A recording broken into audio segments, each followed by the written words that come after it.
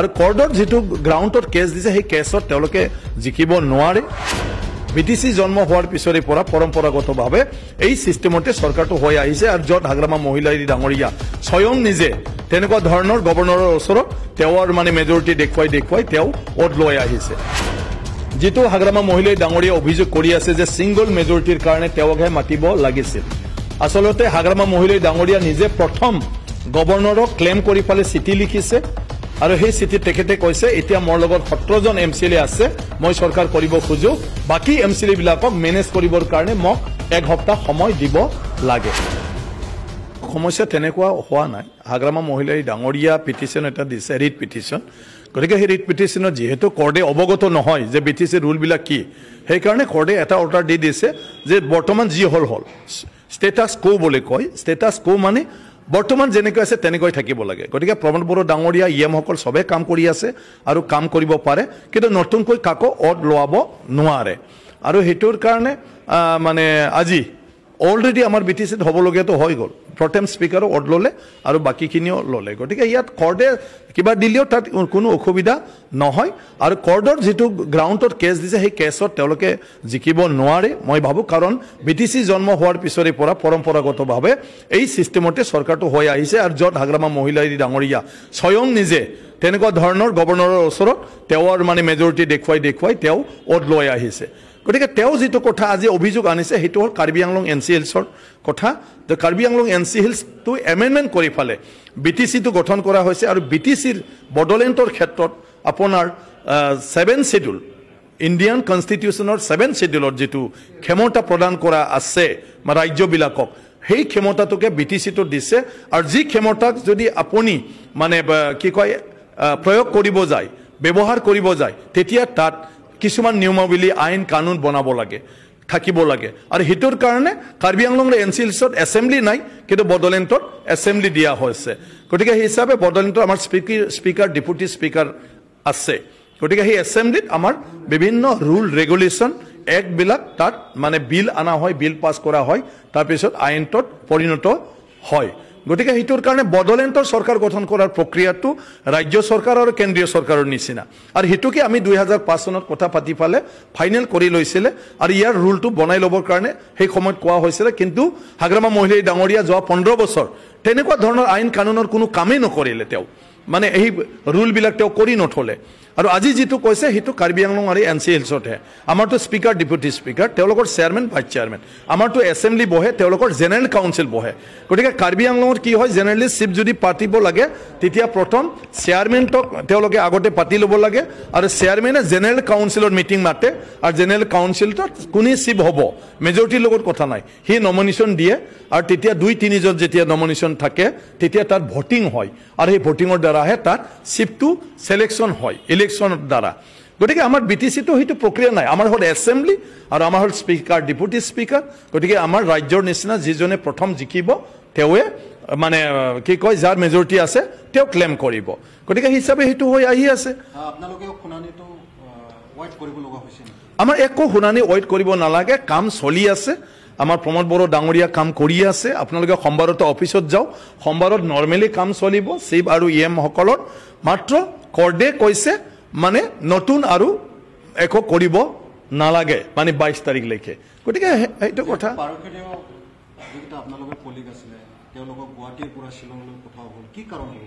নাই নাই সেইটো আমাৰ নিজৰ নিজৰ পাৰ্টিৰ কথা। ইয়াতো একো কাম নাই নিজৰ কথা। আমাৰ এতিয়া নৰে বাবা নাই অভিযোগটো তোমালোকে হাগ্ৰামাৰ শুনি আছে কেলে? বি পি এফৰ শুনি আছে কেলে? হাগ্ৰামা বি পি এফ চৰকাৰেও কৰিব নোৱাৰে একো কৰিব নোৱাৰে। গোটেই এম চি এলক তেওঁলোকে তপলা বান্ধি লৈ ফালে ইফালৰ পৰা ইফালে কিয় ঘূৰাই আছে? আমিতো চৰকাৰ কৰিছোঁ। চৰকাৰ কৰোঁতে আমাৰ কিছু কিছু ঝামেলা আছে অফিচিয়েলি গতিকে এই অফিচিয়েলি ঝামেলাবিলাকক আমাৰ একেলগে কৰি যাই থাকিব লাগে। এতিয়া আমাৰ তিনিটা পাৰ্টিৰ চৰকাৰ। তিনিটা পাৰ্টি লগ হৈ থাকিব লাগে তিনিটা পাৰ্টিৰ এম চি এল লগ হৈ থাকিব লাগে। সেইটোৰ কাৰণে কেইদিনমান একেলগে আমাৰ পাৰ্টীয়ে সেইটো ব্যৱস্থা কৰিছে। তাতো কাকো হিংসা কৰিবলগীয়াতো একো নাই। গতিকে আমি আমাৰ পাৰ্টীৰ মতে আমি তেওঁলোকক মানে এই প্ৰব্লেমবিলাক মানে যেতিয়াই গভৰ্ণৰ তাত যাব লাগে যেতিয়াই ক'ৰবাত যাব লাগে যেতিয়াই অটেকিং কৰাৰ এটা ব্যৱস্থা কৰিব লাগে ঘৰে ঘৰে গ'লে খবৰ বাতৰি দিয়া আৰু একলগ হৈ থকা। তিনিটা পাৰ্টি আমাৰ সদায় ই এম ডিপাৰ্টমেণ্ট কিবা কিবি ভাগ বিতৰণত আমাৰ কথা আছে। গতিকে আমি তিনিটা পাৰ্টি আমাৰ সুবিধামতে আমি কৰি আছো। গতিকে ইয়াত একো তেনেকুৱা ধৰণৰ নাই। চবেই কৰিব পাৰে সেইটো। নিৰ্বাচনৰ পিছত কোনটো? কিয় নিৰ্বাচন নিৰ্বাচনটো পিছত হৈয়ে থাকিল এতিয়া? নিৰ্বাচন ৰিজাল্ট ফলাফল হোৱাৰ পিছত বি পি এফৰ যিটো ইলেক্টেড মেম্বাৰ ঘূৰণীয় মানে অলৰেডি ৰেউৰিৱা নাৰ্জাৰী ডাঙৰীয়া বি পি এফত জইন কৰিছে। সেইটো এইটো ডাঙৰ কহনীয়া আৰু এতিয়া চাৰি পাঁচটামান আমাৰ লগত অলৰেডি যোগাযোগত আছে হা? অঁ ৰেউৰিৱা নাৰ্জাৰী সেইটো বি পি এফৰ ৰেউৰিৱা নাৰ্জাৰী বিজেপিত যোগদান কৰিলে। ইয়াৰ পিছত আৰু পাঁচটামান আমাৰ লগত যোগাযোগ হৈ আছে। গতিকে খহনীয়া ডেফিনেটলি হৈছে আৰু ডেফিনেটলি হ'ব। কাৰণ চবেইতো কাম কৰিম বুলিহে পাৰ্টি কৰে। গতিকে আজি যিটো পাৰ্টীয়ে চৰকাৰত নাহিল তাৰ ছাপৰ্টাৰ আহিব তাৰ কৰ্মী আহিব এম চি এলবিলাকো আহিব যদি ৰাইজক ডেভেলপমেণ্টৰ প্ৰতিশ্ৰুতি দি ফালে ভোট লৈছে ৰাইজৰ কাম কৰিব লাগিব তেতিয়াহ'লে তেওঁ চৰকাৰৰ লগত মিলি ফালে কাম কৰিব লাগিব। পদম ফুল এটাৰ পিছত এটা ফুলি আছে যোৱাকালি তিৱা খাৱ অঞ্চলতো সংখ্যাগৰিষ্ঠ লাভ কৰিলে। নাই নাই পদম ফুল ফুলিবই কাৰণ কিয় আজি নৰেন্দ্ৰ মোদী ডাঙৰীয়াৰ নেতৃত্বত ভাৰতবৰ্ষৰ প্ৰত্যেকজন নাগৰিকৰ কাৰণে যি ধৰণৰ আঁচনিবিলাক লোৱা হৈছে যিটো অকল আন্তঃগাঁথনি নহয় ৰাস্তা পদূলি কিবা কিবি মাত্ৰ নহয় ব্যক্তিগত জীৱনলৈকে উপকাৰ হোৱা আপোনাৰ গেছ চিলিণ্ডাৰলৈকে পাইছে চাউল ফ্ৰী পাইছে আপোনাৰ বি এম ঐ ঘৰ যাৰ ঘৰ নাই সি ঘৰ পাইছে আপোনাৰ বিধৱা পেঞ্চন পাইছে আপোনাৰ বৃদ্ধ pension hundred not hundred percent আগৰ কংগ্ৰেছৰ নিচিনা নহয় যে গাঁওখনত দহটা যদি বুঢ়া বুঢ়ী থাকে দুইজনহে পাব এনেকুৱা নহয় এতিয়া হাণ্ড্ৰেডত হাণ্ড্ৰেড পাৰ্চেণ্ট কৃষক প্ৰত্যেকজন কৃষক যাৰ মাটি বাৰী আছে তেওঁলোকে ছয় হাজাৰকৈ প্ৰত্যেক বছৰে পাবে। এতিয়া অৰুণোদয়ৰ কাৰণে প্ৰত্যেকটা দুখীয়া মানুহে আঠশ ত্ৰিছ টকাকৈ মাহত মানে পইচা পাব।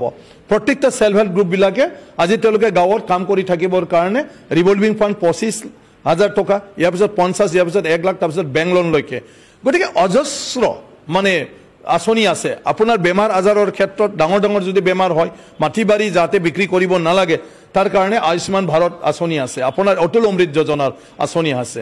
গতিকে ইমানখিনি ব্যক্তিগত জীৱন উপকৃত হোৱা এই দলক সহযোগ নকৰি কোন আৰু একো কৰিব নোৱাৰা দলৰ লগত থাকিব। গতিকে সেইটোৰ কাৰণে বিজেপিলৈ আহিছে। বিজেপিত এনেই অহা নাই যে বিজেপিৰ যিটো নৰেন্দ্ৰ মোদী ডাঙৰীয়াৰ মানে আজি চেণ্ট্ৰেল গভমেণ্টৰ যিখিনি পৰিকল্পনা আৰু সেই পৰিকল্পনাৰ যিবিলাক আঁচনি উপযুক্ত আঁচনি লৈছে প্ৰত্যেকজন মানুহে বেনিফিট হ'ব পৰাকৈ। সেইটো কাৰণে চবেই আকৃষ্ট হৈ পেলাই তাত জইন কৰিছে। টি চি অঞ্চলত আৰু ডেফিনেটলি আহিবও পাৰে বা নাহিবও পাৰে কিন্তু আমাৰ কথাটো হ'ল কি এছেম্বলি ইলেকশ্যনৰ ক্ষেত্ৰত আমি বিজেপি দলে এইবাৰো মানে ভাল ৰিজাল্ট কৰিব আৰু অসমত বিজেপিৰে চৰকাৰ হ'ব। যিটো হাগ্ৰামা মহিলাই ডাঙৰীয়া অভিযোগ কৰি আছে যে ছিংগল মেজৰিটিৰ কাৰণে তেওঁকহে মাতিব লাগিছিল। আচলতে হাগ্ৰামা মহিলাই ডাঙৰীয়া নিজে প্ৰথম গভৰ্ণৰক ক্লেইম কৰি পেলাই চিঠি লিখিছে। আৰু সেই চিঠিত তেখেতে কৈছে এতিয়া মোৰ লগত সোতৰজন এম চি এল এ আছে মই চৰকাৰ কৰিব খোজো। বাকী এম চি এল এবিলাকক মেনেজ কৰিবৰ কাৰণে মোক এক সপ্তাহ সময় দিব লাগে। কিন্তু তেওঁ নিজে তেওঁৰ লগত মেজৰিটি নাই। এইটো তেওঁৰ চিঠিত তেওঁ নিজে উল্লেখ কৰি দিছিলে যে মোৰ লগত চল্লিছটাত সোতৰটাহে আছে। ইয়াৰ পিছতহে প্ৰমোদ বড়ো ডাঙৰীয়া সন্ধিয়া মানে গৈ ফালে মানে ৰাতি আৰু সন্ধিয়া মানে মানে ৰাতি গৈ ফালে গভৰ্ণৰৰ তাত এপইণ্টমেণ্ট লৈ ফালে গৈছে আৰু গৈ ফালে বাইছজন মানুহৰ লিষ্ট দি ফালে মোৰ লগত মেজৰিটি আছে মই চৰকাৰ কৰিব খোজোঁ। তাৰপিছত কংগ্ৰেছ কি কয় কংগ্ৰেছ নহয় আপোনাৰ কি কংগ্ৰেছ নহয় জি এছ পি আৰু আপোনাৰ বিজেপি আৰু ইউ পি পি এল। তিনিটা পাৰ্টিৰো ছাপৰ্টিং লেটাৰ গভৰ্ণৰক দি দিছে। আৰু তাৰ কাৰণে গভৰ্ণৰ ডাঙৰীয়া দেখিলে যে হাগ্ৰামাৰ সত্ৰতা আছে আৰু তেওঁ এক সপ্তাহ বিচাৰিছে মেনেজ কৰিবলৈ। কিন্তু অলৰেডি প্ৰমোদ বড়োই তাৰপিছত গ'ল আৰু তেওঁৰ অলৰেডি বাইছজন আছে। গতিকে সেইটোৰ কাৰণে গভৰ্ণৰ ডাঙৰীয়া প্ৰমোদ বড়ো ডাঙৰীয়াক মানে অনুমতি দিলে আৰু সেই হিচাপে আজি মানে অভাৰটেকিংটো হৈ গ'ল। গতিকে হাগ্ৰামা ডাঙৰীয়া যিটো কথা কৈ আছে যে ছিংগল লাৰ্জেষ্ট পাৰ্টিক মাতিব লাগে মাতাৰ আগতে তেখেতে গৈ পাইছে নিজে আৰু নিজে সত্ৰজনৰ তালিকা দিছে আৰু এক সপ্তাহ বেলেগক মেনেজ কৰিম বুলি কৈছে। গতিকে বেলেগকতো মেনেজ কৰিব নোৱাৰে। তেওঁ সত্ৰৰ লগত যদি একেলগে নিজে দি দিব পাৰিলে হয় তেওঁৰে চৰকাৰ হ'লে হয়। গতিকে কোনটো? এইটো পি আই এল নহয় সেইটো হ'ল ৰিট পিটিশ্যন নহয় মানুহ যেতিয়া এটা ডাঙৰ বেমাৰত পৰে এই বেমাৰত পৰিলে বহুতে বহুত ধৰণৰ উপদেশ দিয়ে। কোনোবা কয় গাঁৱলীয়া ঔষধ খাবি কোনোবা আয়ুৰ্বেদিক আয়ুৰ্বেদিক খাবি কোনোবা কয় মানে হোমিঅ'পেথিক খাবি কোনোবা এলোপেথিক বিভিন্ন ধৰণৰ পৰামৰ্শ দিয়া থাকে। গতিকে হাগ্ৰামা মহিলাই ডাঙৰীয়াও আজিৰ সেই বিপদৰ সময়ত এশজন মানুহে হয়তো কিবা নহয় কিবা এটা উপদেশ দি আছে।